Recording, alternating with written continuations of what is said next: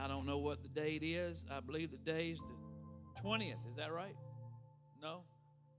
13th. I'm just trying to get ahead, stay ahead of the game. Day's the 13th. Praise the Lord. Amen. Trying to get Thanksgiving quicker. And, um, but we're thankful to be in God's house today and be with all all of you, to all of our guests that have taken time out of your schedule to come and worship with us. We appreciate it. And we're thankful that you're here this morning. Praise God, all of our guests. Thankful that you're here.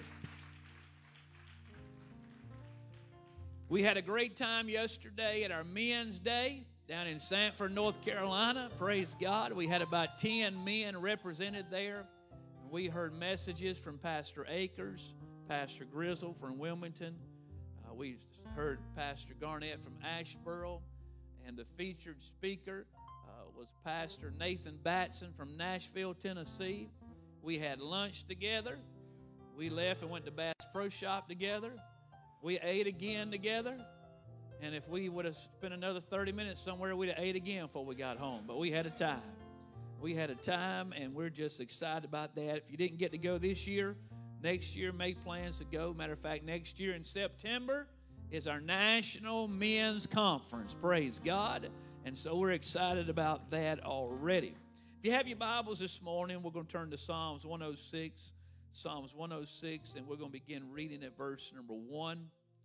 Amen. Psalms 106 and verse number 1. Praise ye the Lord.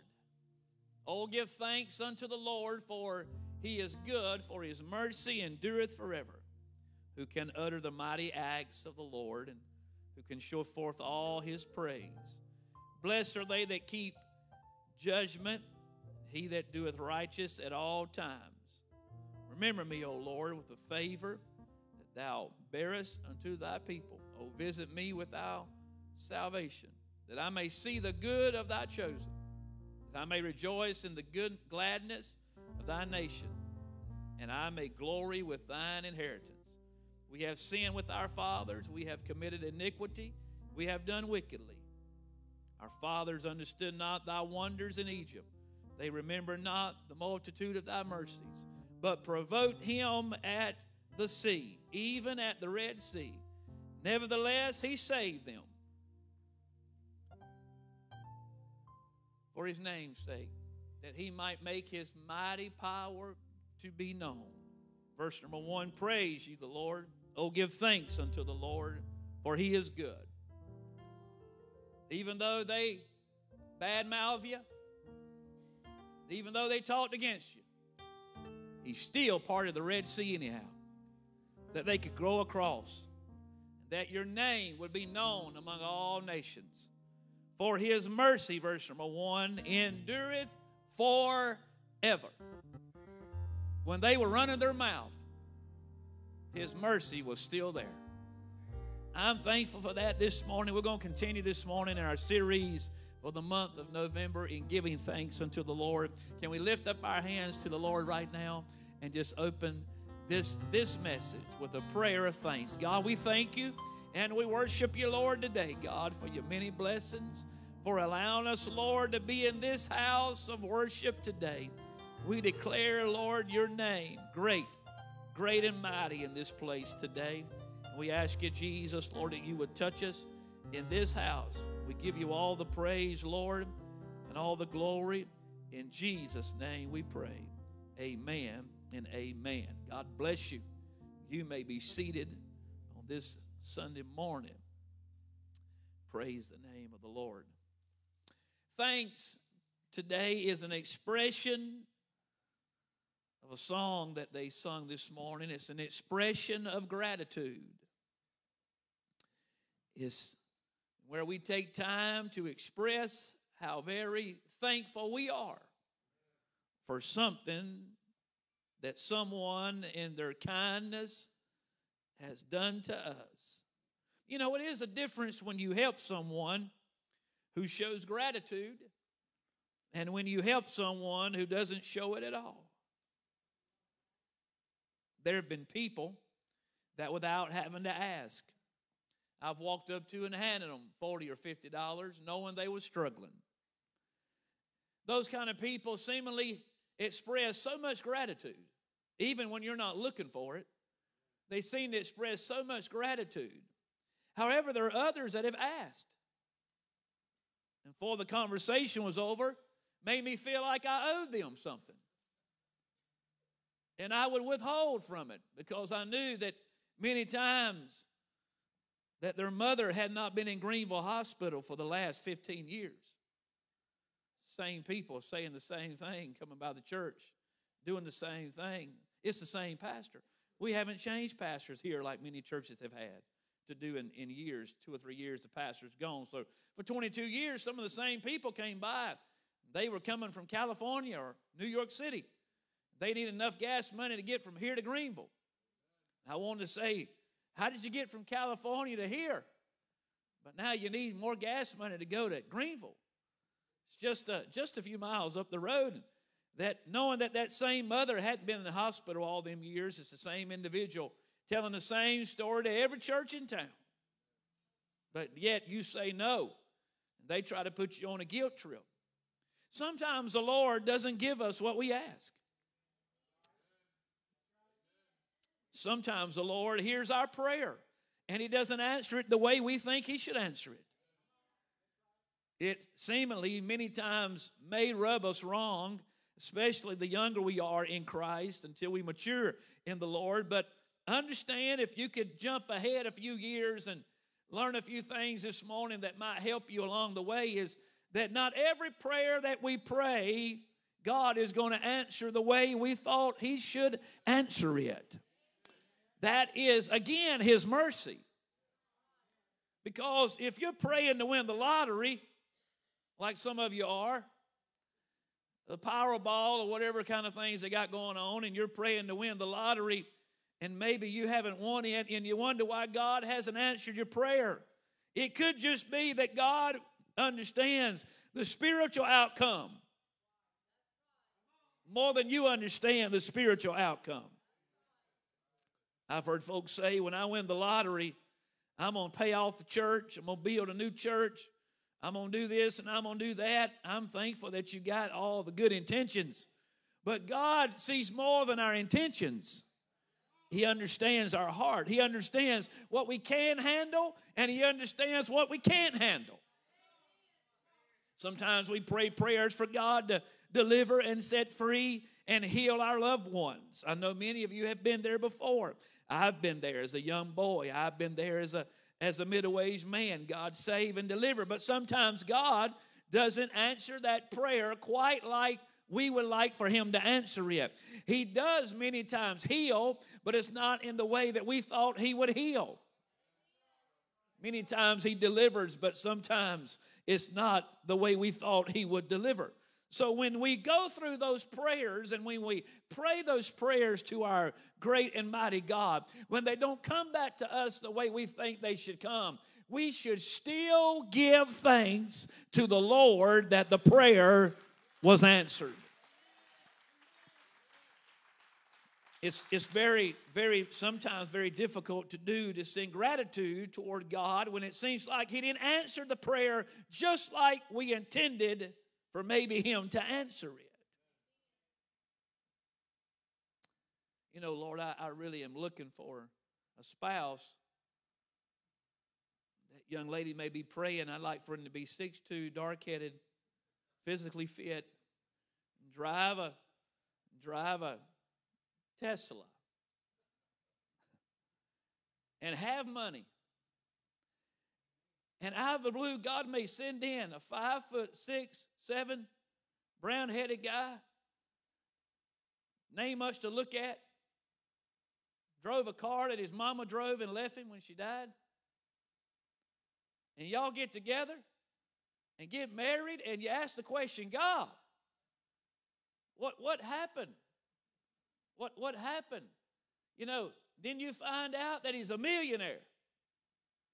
So God maybe he didn't answer the whole prayer like you thought He should have answered it, but He gave you what He knew was best for you.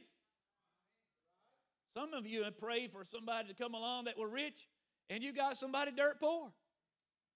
But be thankful that they treat you right. Be, be thankful. Be thankful. When we dedicated our daughters to the Lord years ago, um, I prayed a prayer over all of my daughters, all three of them. I prayed prayers like this since they were born. Lord, I don't know what they're praying, but I want you to hear my prayer before you hear theirs. I want you, Lord, to put somebody in their life that's going to treat them the way a lady should be treated. Not concern, concerned about what color they are, what color their hair is, how much money they got, what they drive, if they're a country boy or a city slicker. I just want somebody that ain't never going to lay their hands on, on them outside of affection. Because if they do, I'm going to jail. God, you know this. I'll go to jail. If one of my daughters called me and said, My husband just broke my nose, I'm coming to your house. I'm coming to your house. So, God, sometimes it may not be exactly what you want, but God knows exactly what we need. And aren't you thankful this morning that our complaining doesn't stop God from giving us what we need? Aren't you thankful this morning that even though we complain about this and complain about that, God still allows the Red Sea to part and God still allows us to walk across on dry land? Aren't you thankful that in many sometimes our unrighteousness and our unholiness, God, God corrects us and He still allows us to get across to safety? I'm thankful that my murmuring and complaining don't stop God from giving me what I need. It may not be what I want, but it's what I need. It may not be what I prayed for, but it's what I need. It may not be what I've been declaring, but it's what I need. And many times God needs to step in and just not give me what I prayed, but give me what I need. What we need in these last days is not more lights. We don't need more talent. We don't need more buildings. We don't need more of this and more of that. We need a latter day outpouring of the Holy Ghost that will sweep across everybody, every man, every woman, every child, every We need a Pentecost that'll shake every area in this sanctuary, that'll cause us to talk in tongues again. That's what we need. Lord, help me get a good education. Then sometimes God would rather have you a good, rather have you have a good prayer life. Because we're leaning on we are leaning on in the 21st century our abilities and not the Lord's. So everything now is dealt with by a therapist. Everything's dealt with by a therapist. Don't, don't go hide under the seat. It is the truth. I wish they had these therapists when I was a kid. They would have probably told my mom and dad why I like to get in and out of my seat so much. Well, he's just got energy. My daddy didn't care if I had energy. If he told me to sit down, he wanted me to sit down. I wish my daddy could have talked to a therapist. Therapist could have told him that you can't make him sit down. He's got energy. I wish that therapist could have told my daddy, you can't expect to take him to six nights of revival straight in a row and him act right in church. Man, it would have made my life so much better, and my rear end wouldn't have had so many scars. It'd been wonderful to have a therapist that could have, could have enlightened my father. But God knew what I needed. I didn't need a therapist. I needed someone to teach me the respectful way to act and approach God respectful way to act and approach God is not just for children. If children doesn't see it displayed by adults, they won't act the way they should act before God. So sometimes we pray for God to do something for us, and God sends it back our way and says, "I'm going to open some doors, but you got to be willing to walk through them. You can't you can't push your children through doors that you won't walk through. You can't push your children to prayer if you're not willing to pray. You can't push your children to worship if you're not willing to worship. You can't force your grandchildren to do this and do that if you're not willing to glorify God. And sometimes God gives us things that we haven't asked for, but yet it's still an answer to our prayer because our prayer is protect our killed children. God, keep our children. Don't let our children stray away. And then God pushes us to a prayer room and he pushes us to an altar of worship and he pushes us to be faithful and he and when we've walked across on dry ground, we understand why he did it. That his name might be known above all the nations. All the nations. Now, if you're a therapist here today, I'm thankful for you, my Lord. There's many of us that need to talk to somebody. But I don't want to allow talking to a therapist to take the place of me talking to God. Because it's known fact, we all need somebody to talk to. If you're struggling today with some stuff, go talk to somebody. But you better be real careful who you talk to. If you ever been to the point you didn't know how you to make it another day, I'm just about to give up. I'm just about done. And then you found you somewhere in your living room, your bedroom, out on a hike, walking in the woods, and you just started talking to God. Nobody was around, you just speaking out. Nobody was hearing you but God. And when you got done talking to Him, you felt so much better. Nothing had changed, but you had felt so much better. For now you've given it to the one that you know can can navigate your life in the direction that it needs to go. I can't make it, but if I hold on to God's unchanging hand, I may walk through a valley of the shadow of death, but I'm going to give it to God because while I'm walking through that valley, I'm not going to fear the death that I'm walking through, but God's going to be with me. And so you understand today that when you talk to the Lord in prayer, it begins to change. And yet sometimes the more you mature in the Lord, the more you realize that some things I ask, God is not going to give in the way I intended it would come. Amen? And I tell you what, I already got my Christmas list. You say, you may not have none, but I got a Christmas list. And I, know what I want, how I want it, when I want it, where I want it, what day I want it on. And I don't want nobody telling me what they got me either. Some folks love to go out and buy gifts. My wife loves to go out and buy gifts for people.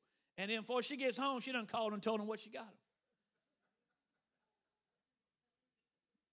And then I'm like, why are we wrapping all this stuff? What's the purpose of it? And and then the way I was raised was you didn't know what the gift was. That was the purpose of the gift. They handed it to you. That's why mom and dad always taught me. It don't matter what it is, Shawn. Y'all ready? See, y'all thought I was way in left field.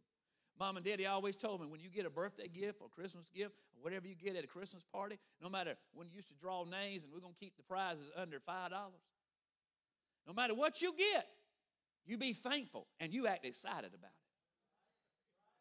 You know, that's one of the hardest things that this old boy has ever had to do. When somebody hand you something, you're like, oh, yes, yes. And you open it up, and it's just a pair of black socks. How do you get excited over black socks? I mean, no designs, uh, no, no, no logos. It's just plain black socks. I haven't always been 49. I was younger. And then you have, oh, thank you so much. This is just what I had hoped for. It's just amazing what I've received today. I do appreciate this, all your kindness, and you know that they probably pulled it out of something their daddy got five years ago and rewrapped it and give it to you. But you thank you so much. This is what I had hoped for. I'm so thankful that God understood what I needed. I praise you for this. Thank you so much. And you went on about your day. And I was taught that you had to be thankful and you had to act like it was the greatest thing. Listen, we need to get back to some of those principles in the spiritual. Just because You've asked God for a Lamborghini and you come driving up in a Toyota. Don't mean you got the right to sit there and look at God and say, God, when you start answering my prayers, then I'll start thanking you. No, that's not how you do it. God knew that you'd be better off with what you got than what you asked for. And so when you get something from God, you should get up on your feet, lift your hands to heaven, and cry out to God with a voice of triumph. Now, you, you, you, see, some of these things, examples I have may be comical to some of you, but, but this is how it works. Some of us look at others and try to judge our life by others. That's right. And then we get down on ourselves and we get mumbling and complaining when all God wants to do is part the Red Sea for you and get you out of enemy territory. He's just trying to get you to safety. That's all God's trying to do. And we start murmuring and complaining. And we start looking at what this one has and how things are going over here for this one. And then we start looking at our life and everything is just terrible in my life. Why did God make me this way? I don't know why I'm shaped the way I'm shaped.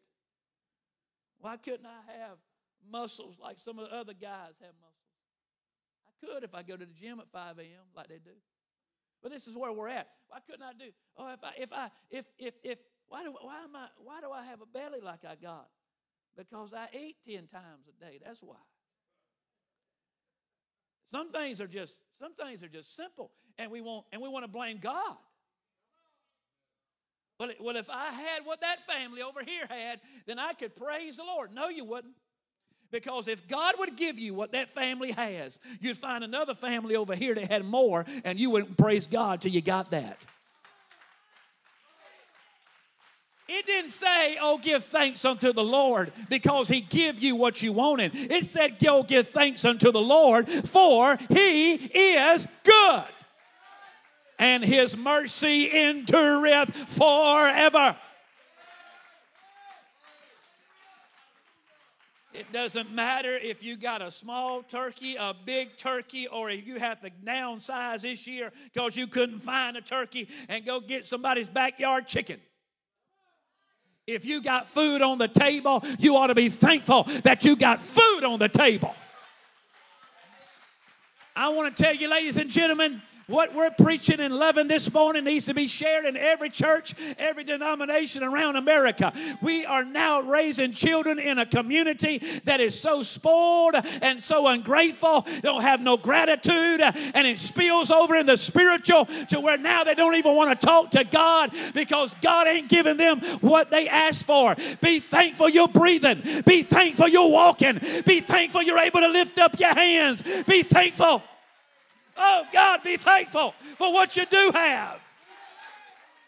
Be thankful for the little house. Be thankful for the larger house. Be th- whatever you got, be thankful. Be thankful. Just be thankful. Be, be thankful. There's so many pressures of life, of other people trying to push you. Trying to push you. It's a it's a known, common thing in, in, in Pentecost for some questions to be asked of you. In the next couple, week or two weeks, I'll be at a conference and I'll be asked this question. Man, looks like things are going good in Wilson, and they are. When are y'all going to start building across the street? And I'm thinking to myself, what I want to say is, when God drops about $5 million, that's when we're going to start. And, and but but what happens is they're just being encouraging. They're just trying to encourage me. They didn't say, Are you going to start next week? They're just trying to build my faith. And the old devil turns that and he turns it around to get me to be discouraged. Oh, it ain't never going to happen. But see, what you got to do is look at what God has already done up to this point. Listen to me. Just listen to me. What that is across the street is 40 is a 40 acre miracle. And if God give us that, then God can use all of us in this room to reach many others. And if God sees fit that we need a new building, God will provide through us a new building. But until that happens, I'm not going to mumble and complain. I'm going to rejoice that we got grass to cut. I'm going to rejoice that we got someplace over there for the kids to run and jump. If I had, if if I had, oh God, if I if I just had what they had, if I just had what they had. No, how about you start rejoicing over what others are, are, are receiving, rather than it always being about you because it ain't it can't always be about you. That man young lady is going to get sick of every day everything being about you. You're to have to cut his leash every once in a while and let him go fishing. Because he's going to get tired of it eventually. Because even though your daddy said you were a princess he has found out after about five years you are a demon. You're going to have, it can't always be about the church. Can't always be about what the church wants.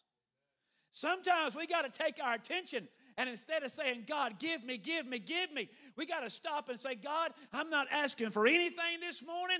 I just come to tell you thank you.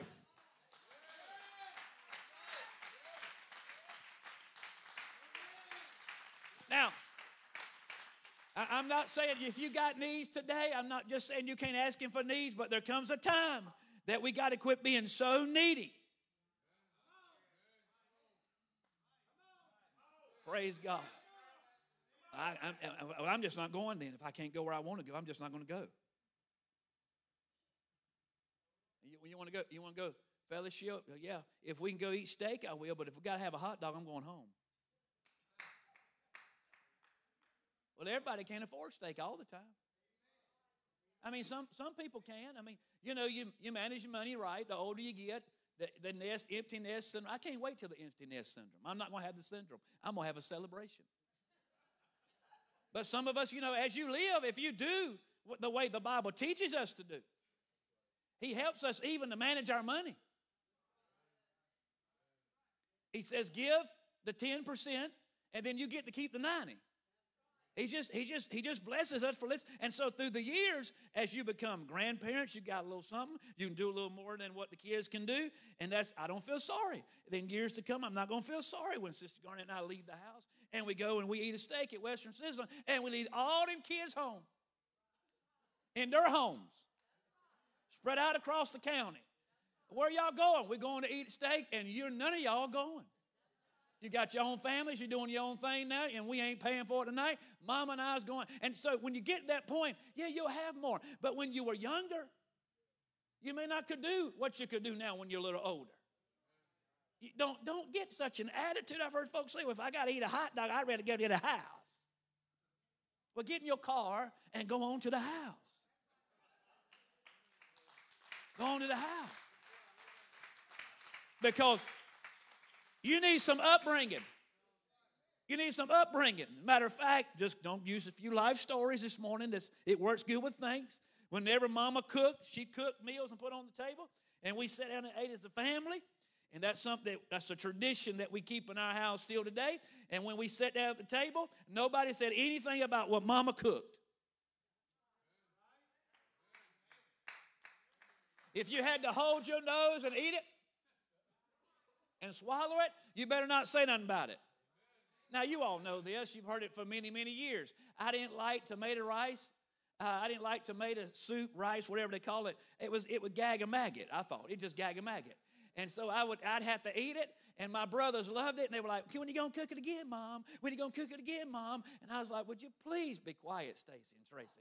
We don't want this. This is nasty." And she cooked it. It was on the regular menu, but I never would open my mouth and say anything against what Mama had cooked because Dad said, "Just be thankful that there's something on the table." Amen. Y- y'all still with me? So when you went out fishing with daddy or granddaddy on a fishing boat, them old time fishermen, when they launched the boat, it was for eight hours. It won't none this. I got to pee. I got to pee. They'd say, well, stand on the side of the boat and do the best you can. And then when it come lunchtime, when it come lunchtime, I'm hungry. I'm hungry. And they throw you a brown bag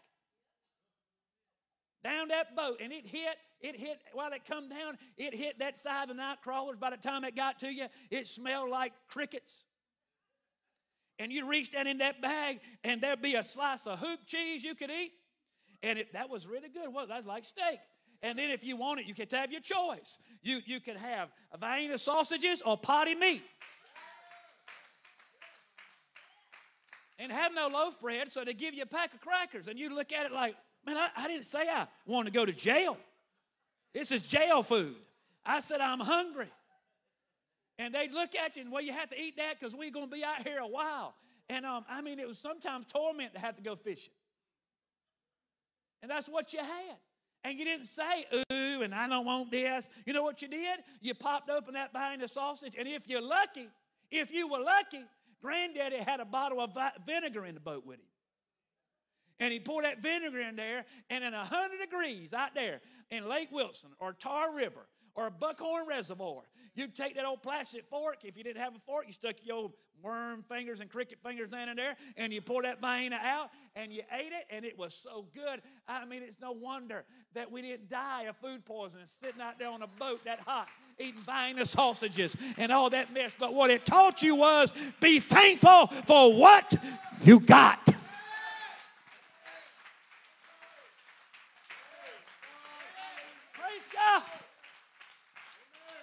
I'm preaching about me today. You can sit back and say, oh, you're doing the wrong thing. But I tell you, times have changed. Because now, when I pick up Mark every day at 12 o'clock from his play school and I put him in his car seat, I say, do you want french fries? Yeah, because his mama has strategically said, this is what he's got to have. So we got to go through McDonald's drive through. I got to order a four piece chicken nugget Happy Meal Monday, Tuesday, Wednesday, Thursday, Friday. Give me double fries. Don't put no apples in that thing. Don't nobody. We don't want nothing good for you. He wants double fries. Give him a small Sprite and we want ranch dipping sauce. And let me tell you, a three year old knows if it's not like he wants it. And if it's not like he wants it, he will let a 49 year old man know that it's not like he wants it. But sometimes God leaves the ranch out of the happy meal. And sometimes God puts apples when you wanted double fries. And he don't care what you want. He knows what you need. He knows what you need. So when you get it out of the window, you ought to rejoice. God, you knew exactly what I needed. God, you knew exactly what I needed. I wanted something, but you knew what I needed. Rejoice in the Lord always. And again, I say, rejoice. Rejoice. Just open up the happy meal and be glad there's something in there. Well, it's not the toy I wanted. Now we, now we laugh at this, but some adults act this way. It's not what I asked for. It's not the Smurf I wanted. It's not the Power Ranger I wanted. I wanted the yellow. I got the red. I'm going to send it back. I was with a, a church group one time. God, I hate to say that publicly, but it was. I was preaching a conference, and this church group, a small portion of them ended up eating where we were eating. matter of fact, we went to a very fancy restaurant. It's called Wendy's. It's about 10:30 at night. It's the only place open. Fine with me. Some folks think just because I've been preaching 25 plus years and been privileged to preach across this country that I got to have something special. When I tell them, listen, take us to a hamburger joint, they're like, Brother Garnett, you eat hamburgers? And I'm thinking, every single day that I can. That's, I mean, that's the truth. I don't have to have this itchy Ichiban and Mama Mom and all that stuff they cook in front of you. I don't even know what they're cooking. I want to know what I'm eating. I don't want a dessert from the melting pot that costs $75. Give me a Reese's. My God. So we're standing there and we're ordering. We get back to our seats, and this pastor brought his wife a hamburger. Now, it's pretty simple at Wendy's. Lettuce, tomato, mayonnaise, mustard if you want it, pickles if you want it. She asked for this hamburger not to have any onions. And when she got it, la, la, la, la, she made more noise in that Wendy's over a hamburger than she made the whole conference weekend. And that man got up and said, I'm sorry, honey, they made it wrong. He went back up there and said, We ordered one without onions. And so the poor little girl took the hamburger and threw it in the trash. You know how us, us country folks are. Don't throw it in the trash. We know what to do with it. Throw it in the trash. I don't care if the hand's been on it. Listen, if food hits the floor around here, I just get it. Three second rule. Just pick it up and eat it. Man, just get it. And she went, he went back up there and she get him another hamburger, brought it back. Ah, they put mayonnaise on both sides of the bun. Oh, they took it back up there again. Would you put mayonnaise on one side of the bun? It come back the third time. God knows this is probably why I never went back and preached for them. Third time it come back, I'm sitting across from them. There's about 30, 40 in the restaurant. We just come out of a wonderful apostolic service. We're different. We're different. She said, Lord, have mercy. They got the mayonnaise right, but that onion's still back on this same burger. And I said, If you will allow me, sister, I can solve your problem. I'll pull that onion right off that burger. That's all you got to do. Pull that onion right off that burger. Matter of fact, my wife would love to have that extra onion.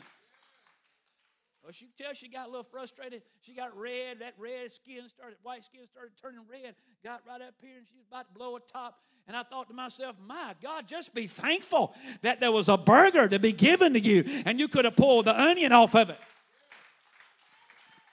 Well, Lord, I want to bless him, but this is how I want it. God, I want you to touch me, and this is how I want you to do it. God, I want a miracle, but I don't want to dip in the muddy Jordan. If you get to where you want a miracle, you won't care where you have to dip. You won't care where you have to pray. You won't care what you have to do. If you want something from God, you'll just be thankful that God's willing to give it to you. Oh, give thanks unto the Lord, for he is good. He's a good God. He's a mighty God. He's a long suffering God. He's a gentle God. He's a God that's above any God.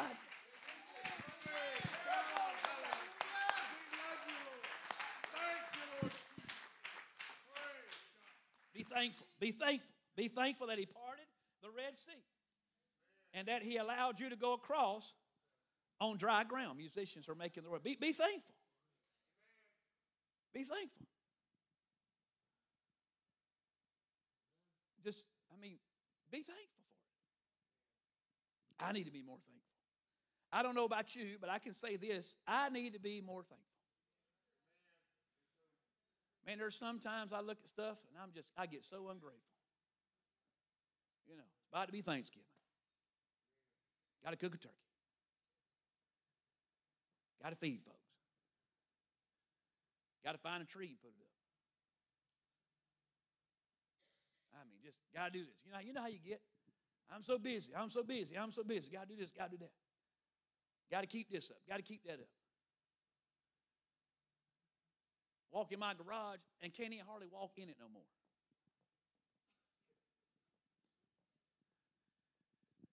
Open the garage door just so I can walk around the other junk to get to my refrigerator outside to get something extra all this junk I got, all this mess I got in here. Got a, got a barn in the backyard, got junk all in it. I mean, go walk out there and man, I get rid of all this junk. And and what I consider junk, there are people that would love to have one piece of it. One piece of it. Take time sometime. Let Sister Garnett tell you the story. How she rode in on a bus through the jungles of Uganda. And one request that Brother Wilson asked of Brianna and Sister Garnett to bring on their trip was bring as less clothing as you can take, just the bare necessity, just get by. So wear the same clothes as much as you can, but fill suitcases full of candy. That barrel back there we filled up for trunk and treat. Bring as much candy as you can bring. She was like, I don't know why he wants us to bring candy. He said, I'm going to show you when you get here. They filled two suitcases nearly full of candy and took it. And on the ride in and out, miles and miles in the jungle, she'll tell you it was a dirt road, one lane road, jungle on both sides, nothing for miles. And while they would ride down that jungle dirt road at about 20 or 25 miles an hour, she said children would come out of the jungle as they would throw candy out the window. They left a candy trail. She said, as long as they could see that kids would come out of the jungles and would pick that candy up, going in and coming out. Kids nowadays, if it ain't the right candy, Now, I'm talking about Shawn Garnett. If it's not the right candy, then I don't want it. But there's some people in overseas that don't have what Shawn has that would love to have a piece of candy that I throw away in the trash can. And I know I'm, I'm preaching like I'm getting old, but I guess I am getting a little older. That's why the older you get, the less food you want to throw away.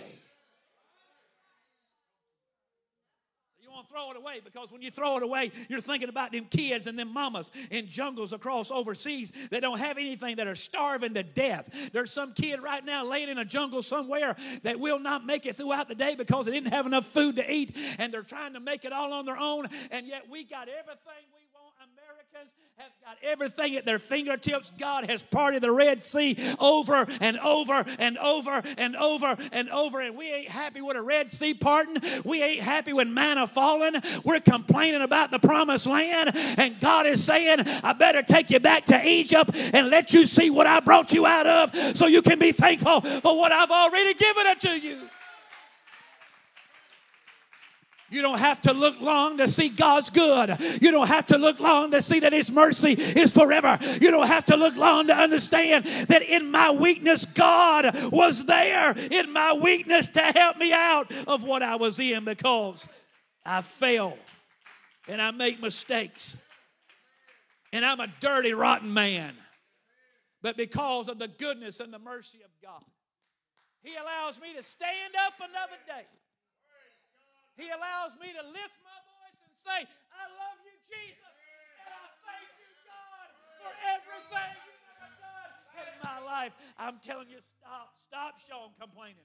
Stop, Shawn, murmuring. Stop looking at what you don't have and start looking at what God has given you. And if you don't feel like you got enough, look at how good God is because that's why you should be thanking Him anyway.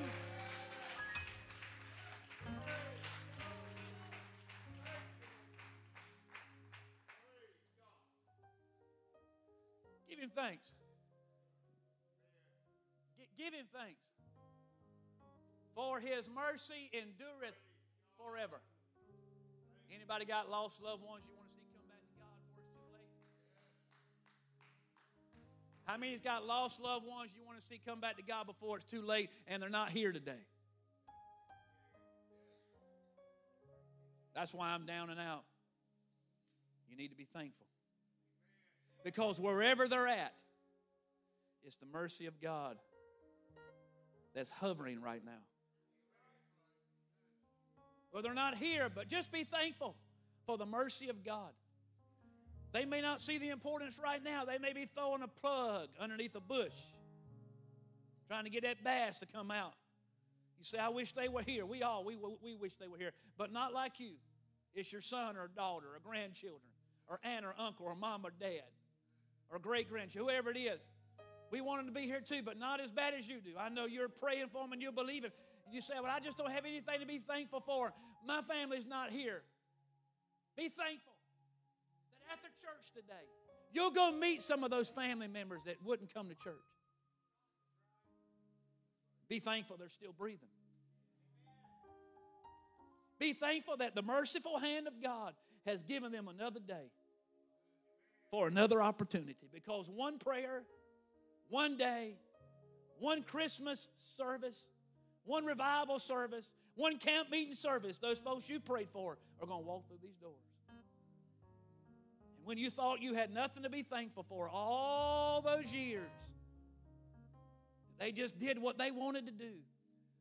The goodness and the mercy of God rested upon them. See, it sounds like me. Sounds like some of you. Doing our own thing, living our own life. Didn't need nobody, sure didn't need God. But God's mercy, even though we wouldn't even mention His name, He just kept us. God's mercy, when we were murmuring and complaining, He said, I'm still going to part the Red Sea anyhow. Because I shed my blood on Calvary not to destroy you. I shed my blood on Calvary that you might have life and have it more abundantly. God sometimes has to look through all of our complaining and my murmuring and my ungratefulness. But I think sometimes we need to kind of push that aside. We need to look at it as if God, I know it wasn't answered the way I thought it should be answered, but I'm thankful you give me what I needed. Thankful you give me what I closing today, I was, this morning, I was thinking about being thankful. You look back in your life and you see to where you were and where you are now. I remember when Beth and I were first married, we were like most young married couples, didn't have a whole lot. We had what we needed.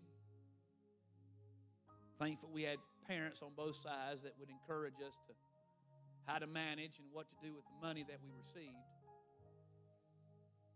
And I remember one time I needed tires on my vehicle. You know, years ago, if you've been in church any amount of time, people used to pray for everything. I mean, if the cow won't produce milk, please pray for my cow. She start producing milk. Farmers send word prayer requests. Pray, pray for rain. The crops are dying. We pray for everything. And I prayed that morning. I said, Lord, my tires are messed up. I mean, it had steel coming out the side. A banjo player could have played a good lick on my tires.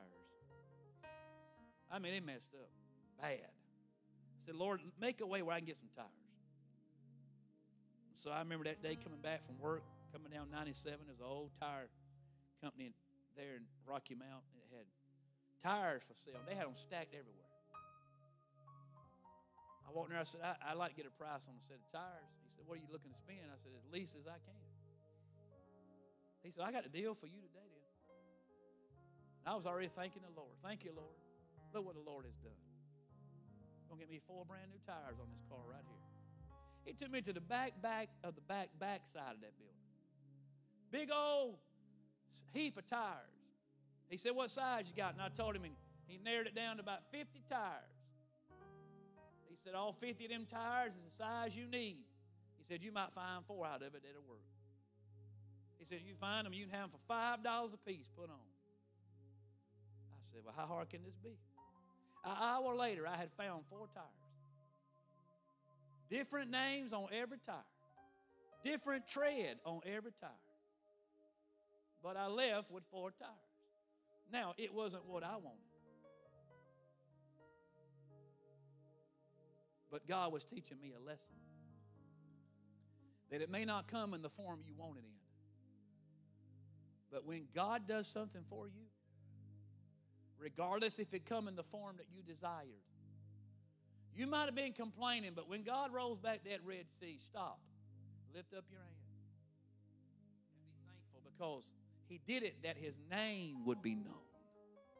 Everything God does for us is in hopes that we will reach somebody else. Because if God did it for you, Brother Pate, then God can do it for somebody. And if God did it for some of you over here, then God can do it for some of these over here. And if God's done it for you, then God can do it for some that sit here in this area. You see, whatever God does for you, He's wanting you to give Him thanks and praise that others might hear. Oh, there is someone that loves me regardless of what I look like. There is someone who loves me regardless of the sin that I'm walking in. There is someone that cares about me regardless of what I'm going through. It may not come in the form that I wanted, but God is good.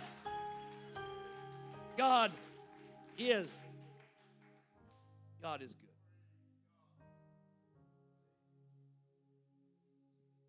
Do we all stand today?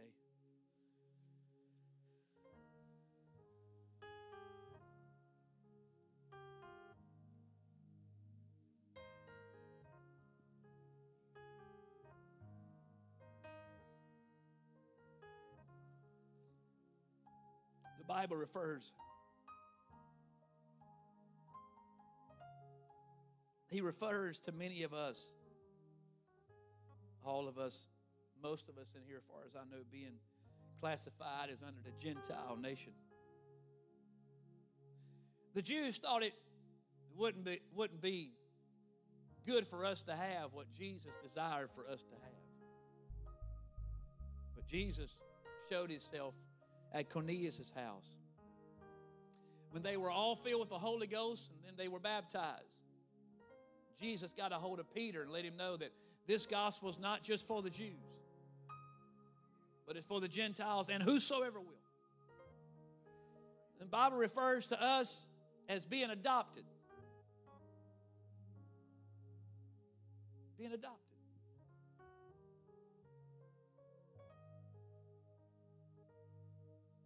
Unless you have ever experienced physically or naturally being adopted, you may not can relate in its entirety.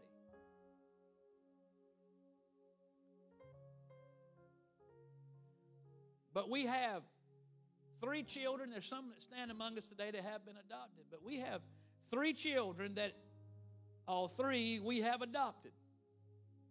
What that means is they are our children. Some of you may not know this, but the birth certificates on all three of those children at the courthouse and at the hospital names Laura Beth Garnett as their mother and Brian Shawn Garnett as their father. What means is, Brianna, instead of being three that gets the inheritance when mom and I die, you got to decipher amongst six and all the evil sister in laws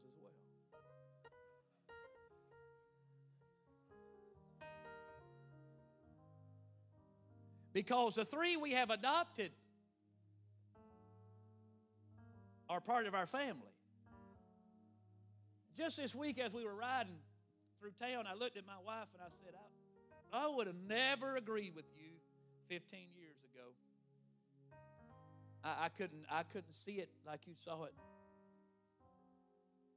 I said, but I, I just don't know. I said, it's, it's, it's amazing what God does.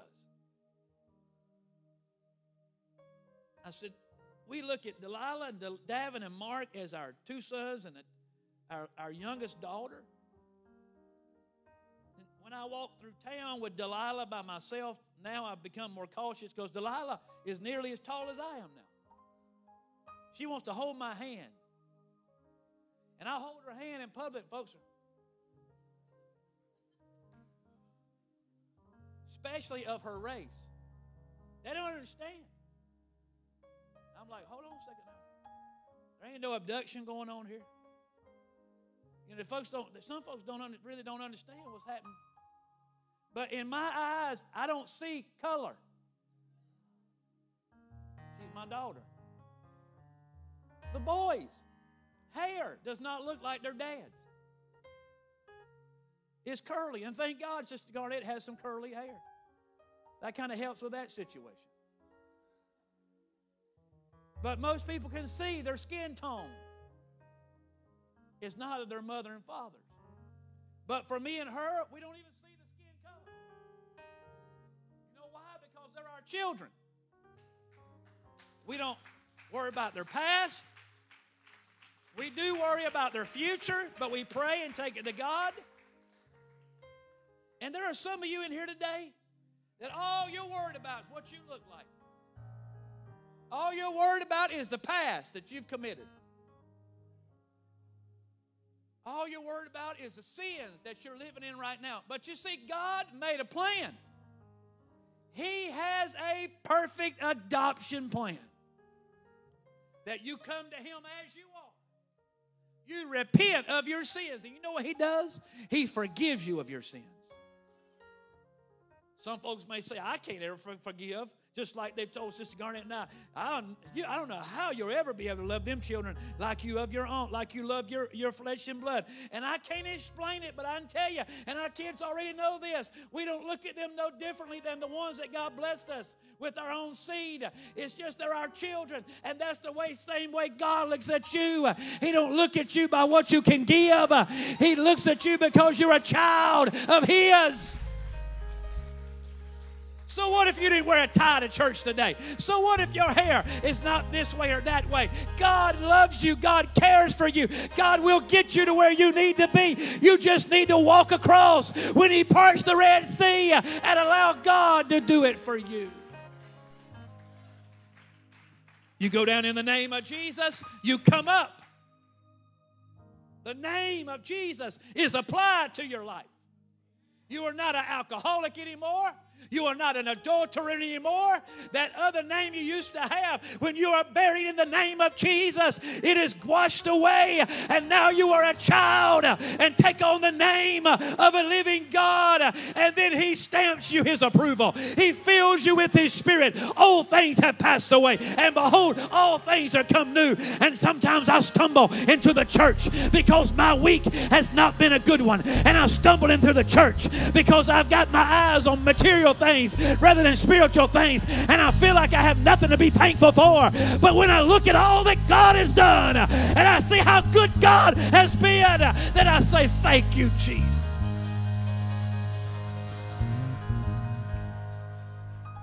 Because nobody will ever love me like Jesus. Not my children, not my wife, not my mother, not my father.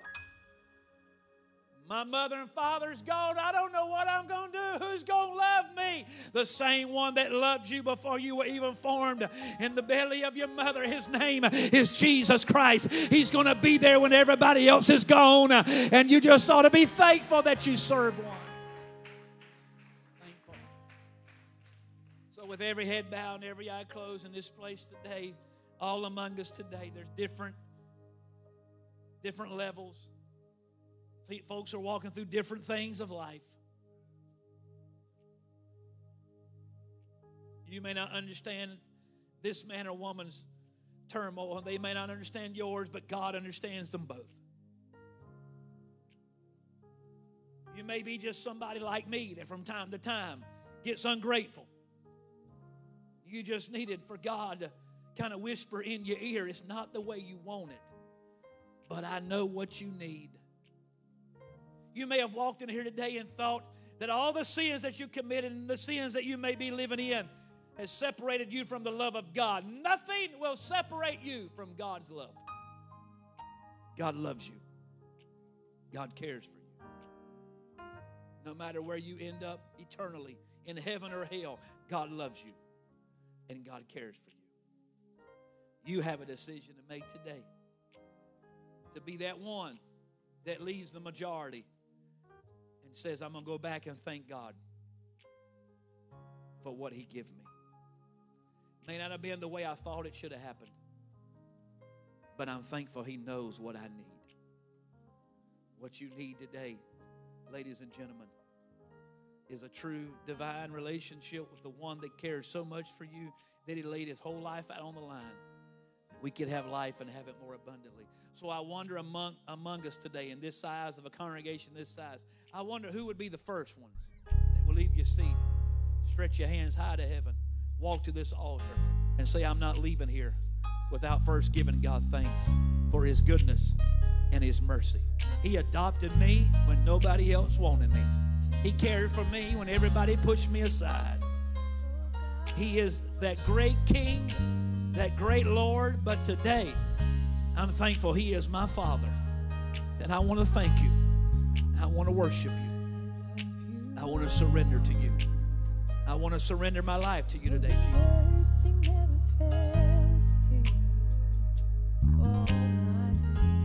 I want to surrender my life to you, Jesus. I want to surrender my life to you today, Jesus. Surrender, Lord, to you, Jesus.